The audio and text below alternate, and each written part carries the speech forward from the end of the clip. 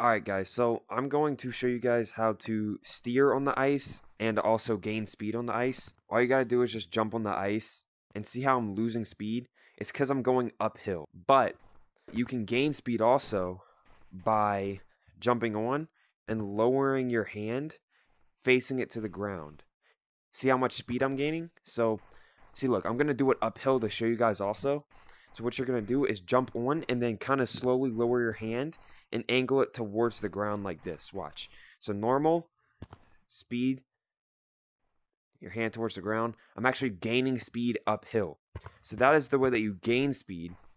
But if you want to know how to steer, what you're going to do is put one of your hands on the ice, move it side to side. And if you turn your uh, right hand or your left hand to the left, it's going to steer you left. And if you aim it to the right, then it's going to steer you right. Watch. So if I want to go to the right, steer it right, left, right, left, right. Alright guys, that is how to steer and gain speed in Gorilla Tag. If you did enjoy, make sure to like, subscribe, comment down below what you want me to do next time.